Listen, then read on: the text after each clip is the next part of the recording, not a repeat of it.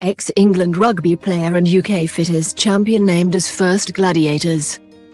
Fury and Steel have been named as the first gladiators in the new lineup to compete on the BBC's revival of the sports entertainment show. Gladiators was originally broadcast from 1992 to 2000 and is set to be reappear on TV screens this year with an 11-episode series hosted by the Chase presenter Bradley Walsh and his son, Barney.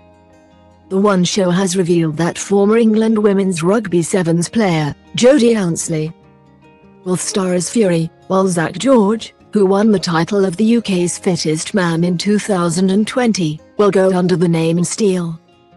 The pair are the first superhumans set to pick up their pugil sticks and compete in the Gamma coming to BBC One and BBC iPlayer. Fury, who plays professional rugby for the Exeter Chiefs and was given her name due to her power and passion for competition.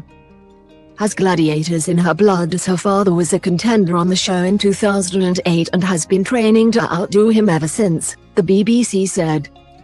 Her achievements include being British champion at Brazilian Jiu-Jitsu and winning the World Coal Carrying Championship five times. She was also Deaf Sports Personality of the Year in 2020. She said, Watching gladiators growing up I was always in awe of their strength and power and now I am one. I hope contenders are ready to feel the fury. Meanwhile, Steel earned his name through his unbreakable strength, ranking number 26 out of 126, 461 on the global CrossFit leaderboard. The CrossFit star said he is hoping to inspire a new generation of fans after undertaking his own personal fitness journey as a teenager.